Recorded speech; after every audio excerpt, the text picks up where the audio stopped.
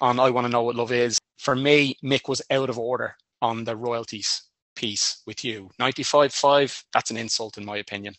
It, it's it's such an insult. I mean, he should have been arrested.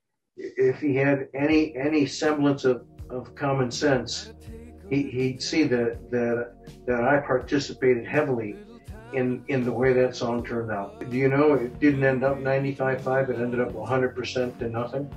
I, I saw that in the book. Yeah. I felt more than slighted. I, I felt like my partner had betrayed me. To diminish my input to the point where where I was insulted and and uh, uh, told him that he might as well take it all. Uh, and and and he he uh, didn't hesitate to do that. I felt our our partnership and our friendship was was just a tool for him.